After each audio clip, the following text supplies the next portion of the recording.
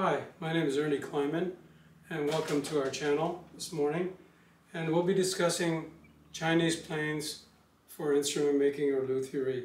So for this segment over here, which I'll be discussing, you don't need to have all these planes that I've got lined up.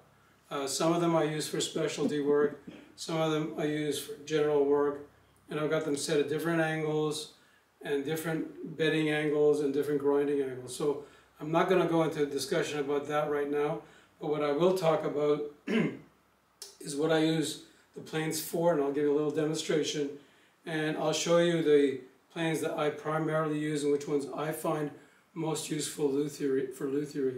So starting off over here on, on your left, I've got a Chinese jointer plane. And the big difference is between the Chinese jointer plane and let's say our Western plane, I, I look at Chinese planes as a kind of a hybrid plane between the East and the West because because of this handle over here, you can either push the plane forward or turn it around and pull it towards you. The primary bedding angle over here is 45 degrees and the angle itself on the blade is roughly about 30, uh, 30 degrees. And it's a laminated blade, so it's basically got a softer steel on the, on the top end over here and a much, much harder steel on the bottom end. So this one I like to use for jointing. Now here's another little plane uh, that I use for, it's a, it's, I would call it like a, a smooth jack plane because if you look closely over here, it's got a very small opening in the mouth over here. So I use it to make very, very small shavings for, for finish cuts. Or you can use it, if you've got one, um, on a little side angle. So you can use it for shooting a, a board and cutting it that way. And here's another Chinese plane, excuse me, and it's got a little bigger opening. You can use that for either fine work or rough work. And the, these blades are, most of them are usually about, they're kind of generic. They're about 44 millimeters or inch and three quarters. And a lot of them are set over here at the angle over here at 45 degrees. They're very easy to adjust.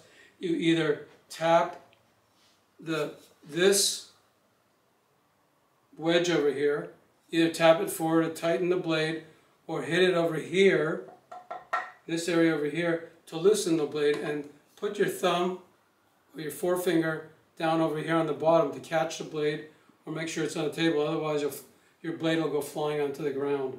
So beware of that. Keep that in mind whenever you're using these Chinese blades. And like everything else, there's a learning curve to learn how to use them.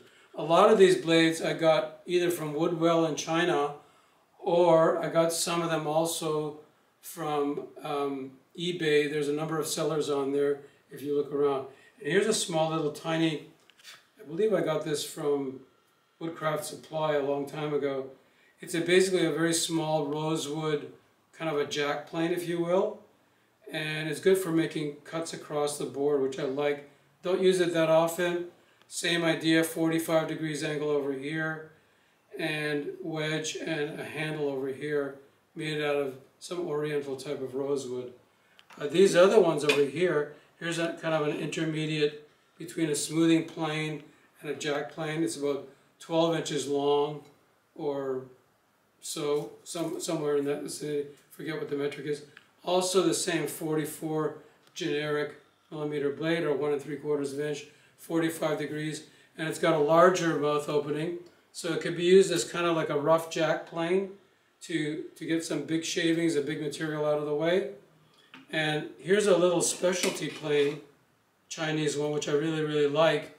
And I use basically this plane for hardwoods only, like rosewood, ebony, boxwood, hard maple, any really, really hard wood, ipe, um, so on and so forth all the different rosewoods. It's also a rosewood plane, but as you can see, it has a very steep bevel angle. I believe it's either 55 or 60 degrees, and I believe also the blade is laminated. And I'm sure I got this either from Woodwell or Woodcraft, Japan Woodworker. Those people carry these kinds of planes. Very, very useful for cutting down hardwoods. And this one I got from an eBay seller, and I don't know what kind of wood it is, looks like some sort of yellow oriental hardwood.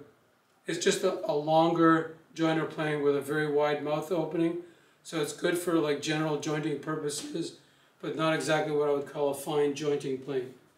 And last is a very inexpensive, I think I paid $12 for this, inexpensive basic uh, jack plane. It's about 15 inches long and it's basically for cutting a lot of woods down to size very quickly.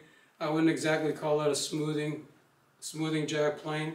And it's got a slightly bigger opening so you can use it again for cutting down whatever it is that you're working on. So what my recommendation if you want to get started with Chinese planes is there's three planes that are, in my opinion, are the most useful.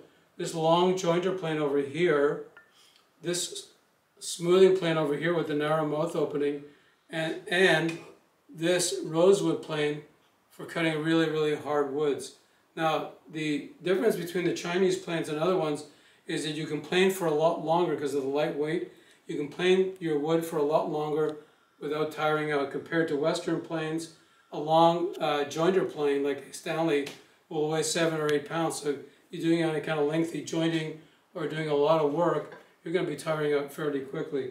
So I would recommend this one over here, Chinese ebony jointer plane. I think it's Makassar ebony. This rosewood uh, jointer plane, Chinese, over here with a very small mouth opening.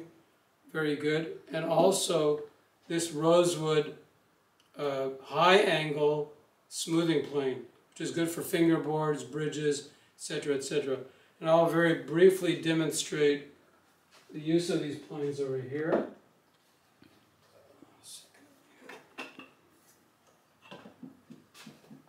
You can stop it for now.